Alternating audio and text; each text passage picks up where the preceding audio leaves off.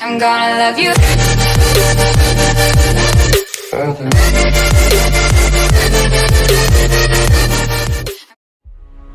Fenrir es una de las criaturas de la mitología nórdica más importantes en la historia.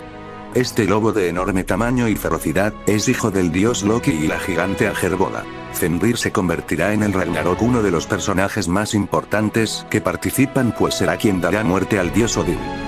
El poema Voluska narra a modo de profecía los hechos que ocurrirán durante la vida de los dioses de la mitología nórdica, hasta su final.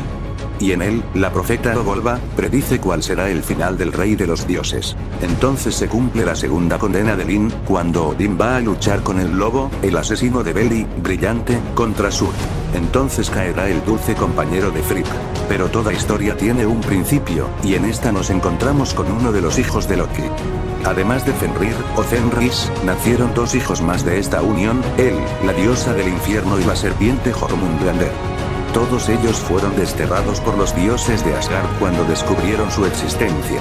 Él fue enviado al reino de las tinieblas y Jormungandr al fondo del mar donde por su tamaño, era capaz de cubrir toda la tierra y enroscarse en ella. Pero Fenrir solo era un cachorro así que los dioses decidieron mantenerlo cerca y vivió con los dioses aunque solo el dios de la guerra Tyr era capaz de acercarse a él y darle de comer. Preocupados por su rápido crecimiento los dioses trataron de encadenarlo pero fallaron por dos veces así que solicitaron ayuda a los mejores herreros, los alfes negros.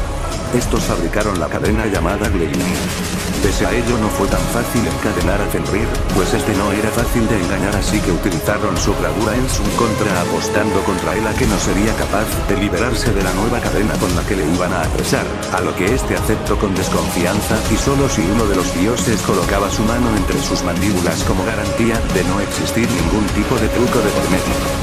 Las cadenas cumplieron su propósito y el dios, que tuvo la mala suerte de sufrir las consecuencias no fue otro que Tyr, que perdió su mano en las mandíbulas del lobo Fenrir. Por si esto fuera poco, atravesaron con una espada sus mandíbulas y estas quedaron unidas para que el fiero lobo tampoco pudiera aullar y no fuera un peligro para nadie.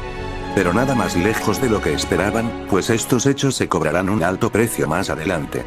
Fenrir se tomará su revancha en el profetizado Ragnarok, donde junto con sus hijos, o hermanos dependiendo la versión, Ati, el lobo que perseguía la luna y Skroll quien hacía lo propio con el sol, serán grandes protagonistas del final de los días de los dioses en el mundo, y del comienzo de la nueva era.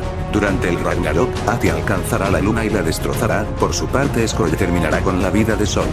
Estos hechos producirán que la oscuridad se apodere de la Tierra, mientras la guerra entre Odín y los dioses de Asgard contra Loki y los Jotuns tiene lugar.